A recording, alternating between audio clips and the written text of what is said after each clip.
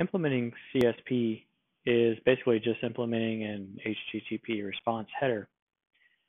It's a little bit more complicated of a header than most other security headers, but follows the same structure.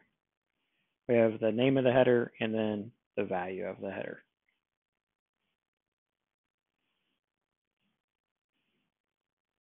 So the name of the header is always going to be content-security-policy. And between the header and the value, there'll be a colon, just the same as any other HTTP response header. The value of the header is the policies.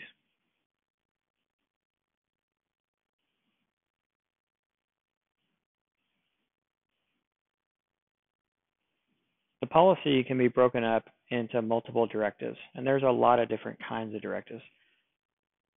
The directives are specified one after another, and they're separated by a semicolon. And there can be dozen or more directives in a single content security policy.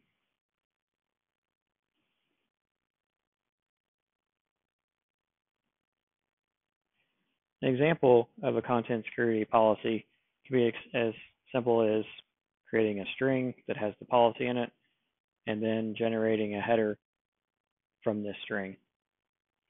So in this example from PHP in the red box, we have the entire content security policy, including the name of the header followed by the colon, and then the value of the policy.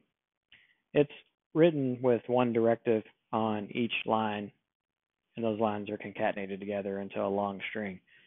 But there's no particular reason it has to be coded this way. In this application, each directive was put onto its own line just to make the code easier to read.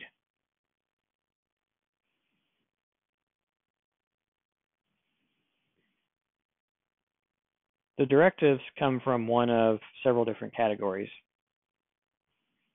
Some categories block input coming into the application. The most popular of these is the fetch policies. And these have something in common. They all specify valid locations where code or features can originate from, and anything else that isn't on this whitelist is blocked. There's also navigation policies, which decide to where the user can be directed from the current application, and document policies that cover documents.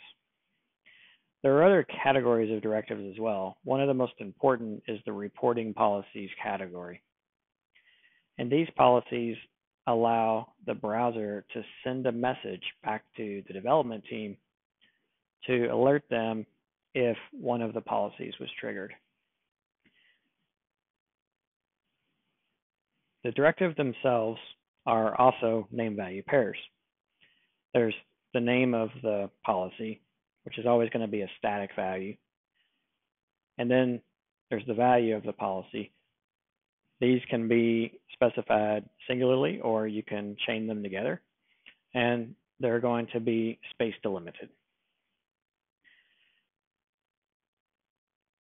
The values of the directives are going to be the sources that are allowed to include that feature.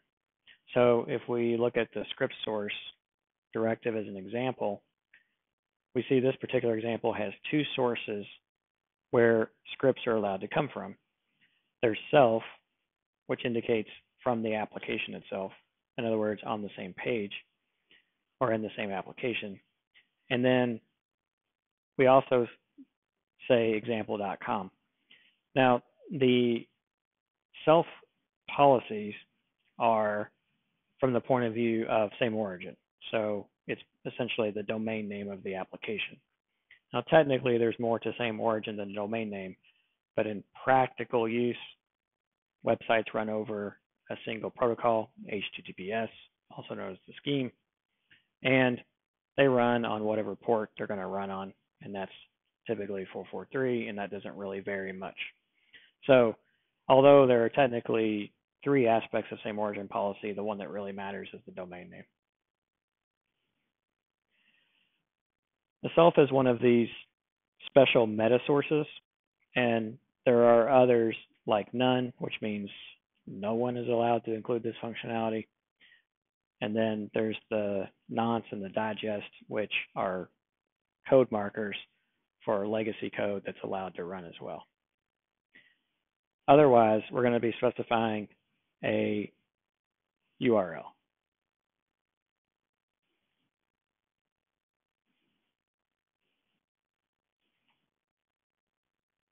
Now, the no-once and digest policies in particular are going to be seen tagging legacy code. And the no-once will be a number. It's a long random number. It has to be a cryptographically secure random number. And it's generated with each request. So if you refresh the page over and over again, you'll see that number change with every response. Digest, on the other hand, doesn't change. Digest is where a hash of the code that's included on the page is taken and the value of that hash is used as the tag. And since the code itself is not changing from request to request, the value of the hash isn't going to change either. And so that value will be static for a given visit to an application for the most part. In the next section, we'll start to take a look at some of the directives as examples for illustration of how content security policy works.